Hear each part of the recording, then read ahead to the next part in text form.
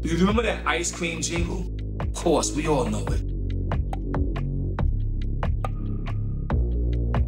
I'm not gonna play it right now though, because we come to find out that it has racist roots. I heard through the in the internet it was a little story going around, but I didn't know how deep it was rooted in the history of turkey in the straw. And when I heard it, it was like, yo, we gotta do something. I was like, yo, what? Well, what could, what could, you know, what can we have? So, we, well, would you be interested in writing a new one? I thought of joy, right? I just kind of like, I would say, kept repeating in my mind, it's good for me, it's good for you, and it's good for us.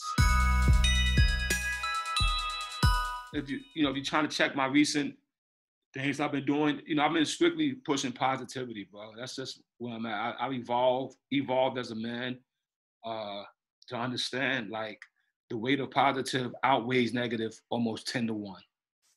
And I'm pushing positivity. And I think they, you know, saw it, heard about me, know about it, you know. I thought about the historical context of replacing a negative with a positive. I definitely thought of that. The longevity of it, I guess it was it wasn't on the top of my mind. But I did when I completed. I told you know I told them they could they could they could do what they want with it. they could have it forever. It's like it's up to them. So the beauty of it is that I mean if that is the case, all I can say is that all praises due because I'm a kid that chased ice cream trucks. And I can assure you that this one is made with love. Peace.